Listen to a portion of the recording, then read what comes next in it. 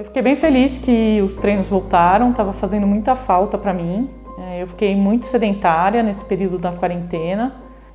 O Sensei, o Shidoin Edgar e o Shidoin Alexandre fizeram com muita preocupação a volta e acho que está bastante tranquilo e seguro, né? A gente percebe que tem um cuidado especial para que a gente fique preservado aqui no ambiente do Instituto.